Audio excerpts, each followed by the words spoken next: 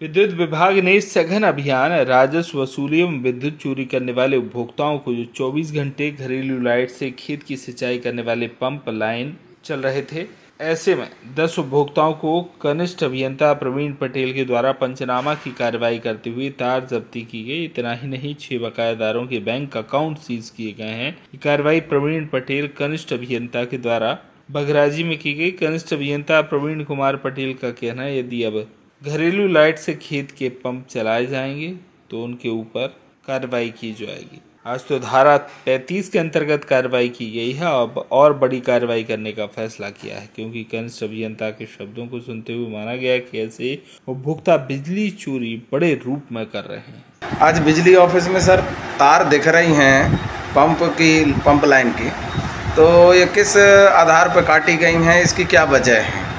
क्या उपभोक्ताओं ने चोरी करते हुए पकड़े गए? इनके ऊपर कार्रवाई हुई।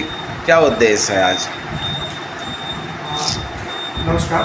मैं कनिष्ठ अभियंता प्रवीण पटेल बगराजी वितरण केंद्र अंतर्गत। आज राजस्व वसूली एवं विद्युत चोरी रोकने हेतु सघन चेकिंग अभियान चलाया जा रहा है, जिसमें बाकायदार उपभोक्ताओं के कनेक्शन काटे गए और उनकी डोरी जब्त की गई। इसी दौरान कुछ उपभोक्ता 24 घंटे लाइन से पंप चलाते हुए पाए गए जिन पर डोरी जब्ती की कार्रवाई की गई एवं धारा 135 के अंतर्गत प्रकरण पंजीबद्ध किया गया।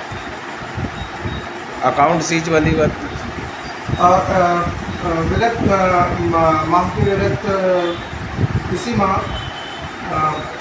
बाकायदार उपभोक्ताओं पर अकाउंट सीजर की कार्रवाई भी की गई है और उनको प्रेरित भी किया जा रहा है प्रोत्साहित भी किया जा रहा है ताकि वो अपना बिलों का भुगतान समय से करें और निर्वाध विद्युत का लाभ नाम और पद के मैं कनिष्ठ अभियंता बगराजी वितरण केंद्र जबलपुर से आशीष बाथरे की रिपोर्ट।